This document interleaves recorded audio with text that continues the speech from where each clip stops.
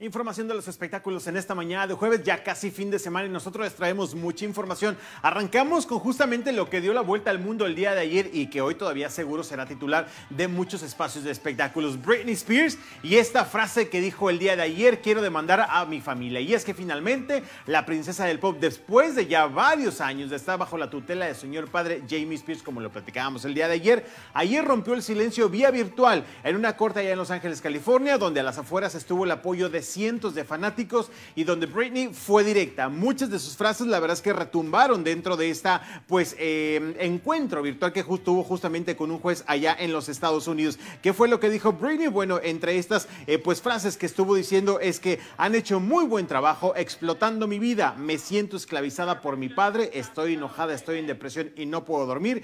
Quiero ser escuchada y quiero cambios, merezco esos cambios y también, así como lo dijo, quiero demandar a mi familia y pide que por favor ya le suelten pues ahora sí que esta rienda que su padre tiene desde ya hace algunos años porque quiere casarse y quiere una vez más convertirse en madre.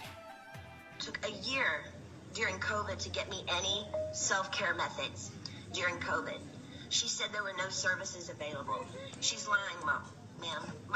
Went to the spa twice in Louisiana during COVID. For a year, I didn't have my nails done, no hairstyling and no massages, no acupuncture, nothing for a year. I saw the maids in my home each week with their nails done different each time. She made me feel like my dad does. Very similar, her behavior and my dad, but just a different dynamic. They need to be reminded they actually work for me.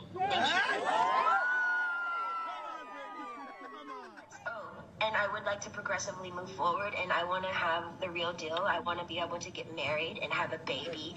I was told right now in the conservatorship I'm not able to get married or have a baby. I have a um, ID inside of myself right now so I don't get pregnant. En este audio hablaba de cómo su mamá incluso le ha mentido porque dice que durante un año nunca tuvo un servicio pues personal como hacerse las uñas, tener algún maquillista, algún peinador. Me decía que no había servicio en ningún, lugar, pero ella sí se fue a varios spas durante este año. Dice, mi mamá me ha tratado igual que mi papá, aunque bueno, tiene como una táctica diferente, eran parte de estas palabras que da Britney Spears y bueno, estamos viendo imágenes de los fanáticos que se juntaron y por supuesto la prensa ahí a las afueras y bueno, como decía también hay que recordarles a ellos, a mi familia que trabajan para mí. Triste, la verdad, la serie de declaraciones que estuvo diciendo Britney Spears porque dice que prácticamente es una esclava. Dice, he estado mintiendo todo este tiempo, todas las publicaciones que se ve donde estoy feliz, no estoy feliz. Estoy viviendo un infierno. Prácticamente esas publicaciones las ponen por mí y decía que en algún momento estaba tan vigilada que empleados de su propia casa por órdenes de sus padres, cuando Britney entraba al baño,